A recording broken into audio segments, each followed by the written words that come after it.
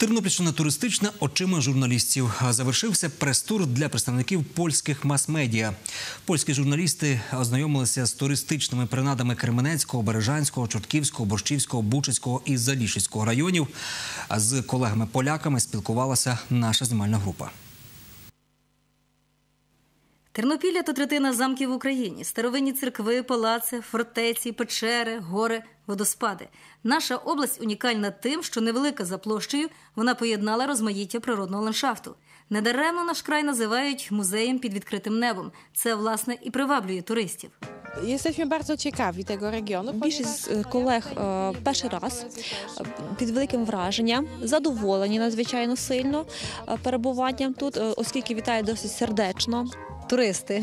Szczerze, że na Ukrainie na takim presturze jestem pierwszy raz. Перше на такому прес-турі, е, під враженням великим вважаю, що це дуже добра ідея, оскільки е, можна пі- е, діз- пізнати дуже багатьох цікавих людей, побачити головне, ніби як в шпаргалці, тому що е, організатори вибирають саме головне, показове, культове.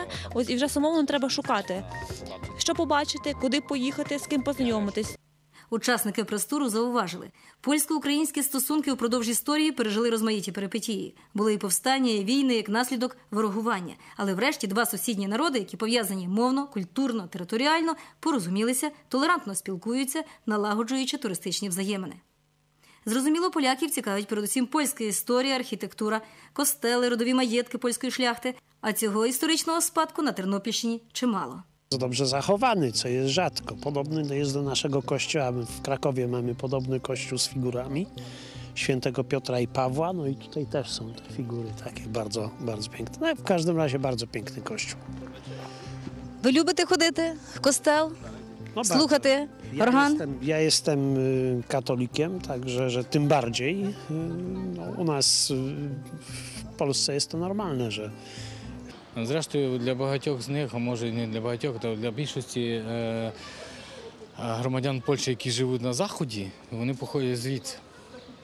І для них це є батьківщина. Мені здається, що для них вивчення цих територій, е, батьківщини їхніх предків, це для них то широкий лан для діяльності. І через то то не є стежки, то є хайвей. Такі прес-тури шляхом мас-медійного діалогу популяризують нашу область, туристичні маршрути. Сподіваємося, потік туристів із Польщі значно зростатиме.